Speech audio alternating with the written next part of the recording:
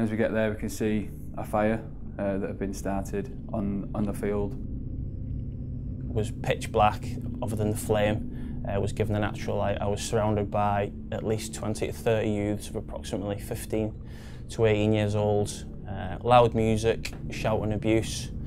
And at that point, um, rocks started getting thrown at us and stones, just narrowly missing one of the guys um, that was on the holes.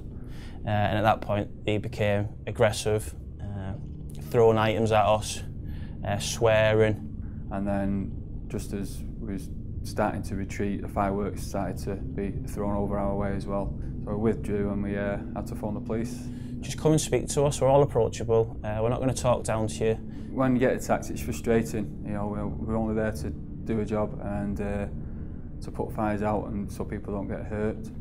We're going out to small fires, wasting our time. There could be, you know, a, a proper house fire in the area at the same time, which crews from other areas would have to attend, which take longer to get to. Unfortunately, attacks from firefighters are on the increase. It does make, you know, my crew, you know, quite angry, you know, and it's it's upsetting sometimes. If we're there and their relatives are in danger, it's going to take time before someone else comes to get them.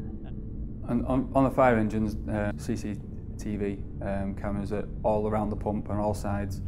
So any evidence that we get of firefighters being attacked or things thrown at us, we can get given over to the police and people can get prosecuted. It's one of our busiest times of the year responding to small fires in the open and bonfires and accidents with fireworks. All I'll ask is that you go to an organised display. You know, it's, it's a lot safer and it's a lot more enjoyable, a lot more things to do. If, you, if you're going to go to a bonfire, go to an organised one and enjoy yourself.